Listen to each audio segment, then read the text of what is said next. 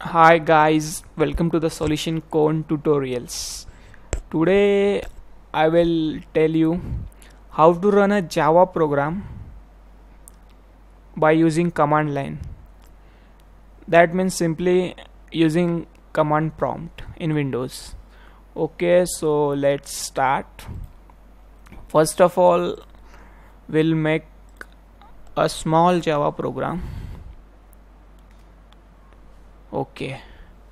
So I have created one class called hello and just printed hello world.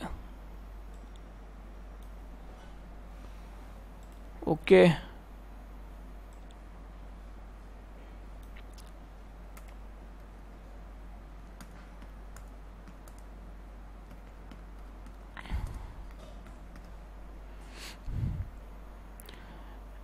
okay so I have modified this content and I am saving this file with the name as my class name hello.java on desktop. Okay.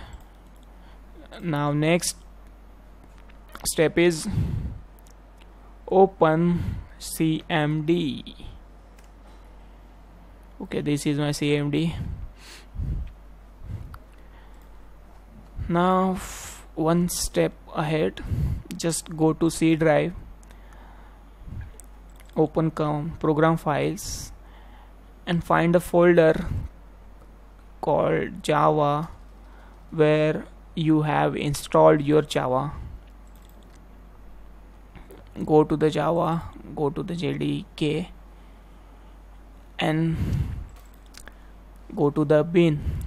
Then copy the path and keep it. Okay the next step is write set path equal to double quotes then copy the path then complete a double quote then press enter. Now the path has been set. Next step is compilation of java file. So first of all locate the java file for that we will go to the desktop. Cd desktop. Now my file called hello.java is there. So for compilation of java file the command is javac which is nothing but a java compiler. Then write the file name with extension.